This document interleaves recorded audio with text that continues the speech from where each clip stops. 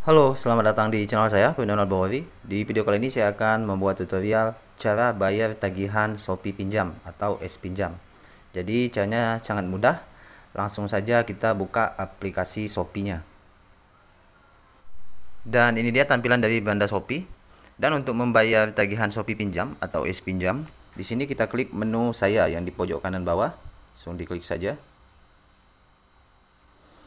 Selanjutnya di sini di dompet saya, di sini ada Shopee Pay, Coin Shopee, Shop, SP Letter dan S Pinjam atau Shopee Pinjam.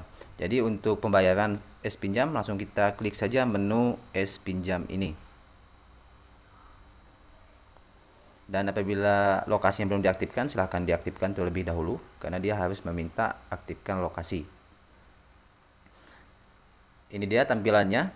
Untuk tagihan akan muncul di pembayaran bulan ini atau nanti muncul juga jatuh tempo, tanggal dan bulannya. Dan di sini sudah tampil di sini untuk tagihannya ada 734.000 sekian. Dan untuk membayarnya klik saja bayar yang di samping kanan ini.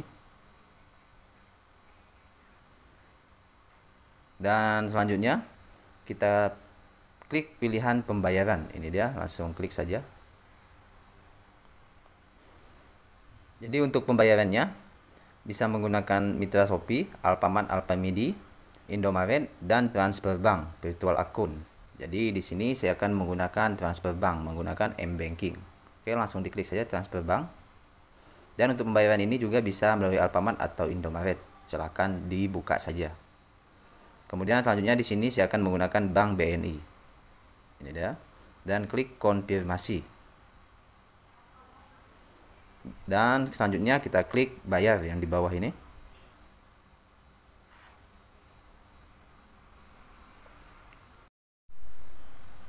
Dan untuk pembayaran melalui transfer bank baik itu BNI atau bank lainnya nanti akan ada uh, virtual akunnya yang bisa kita masukkan di M-Banking oke ini dia untuk uh, nomor rekening tujuannya atau virtual akunnya. Dan di sini langsung kita klik salin atau kita screenshot saja dan selanjutnya di sini ada petunjuknya di bawah, petunjuk transfer m-banking. Dan selanjutnya dan ada juga petunjuk transfer e-banking atau transfer ATM dan transfer SMS banking. Jadi bisa menggunakan m-banking, e-banking, ATM dan SMS banking. Jadi silah di apabila Anda masih bingung silahkan diikuti saja petunjuknya. Dan apabila kita sudah melakukan pembayaran di m-banking atau di ATM atau yang lainnya maka akan muncul pemberitahuan pembayaran berhasil seperti ini. Dan selanjutnya klik OK.